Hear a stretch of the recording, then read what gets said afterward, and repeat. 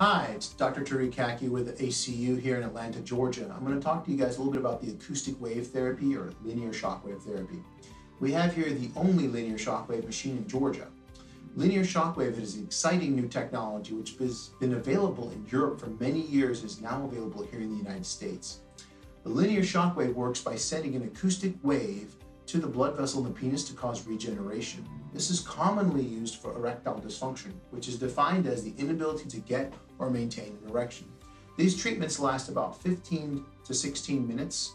The treatment courses are numbered at 10. The treatments themselves are painless. You can feel uh, a small vibration to the penis. and these little shocks uh, send a sound wave to the penis to cause regeneration of the blood vessels.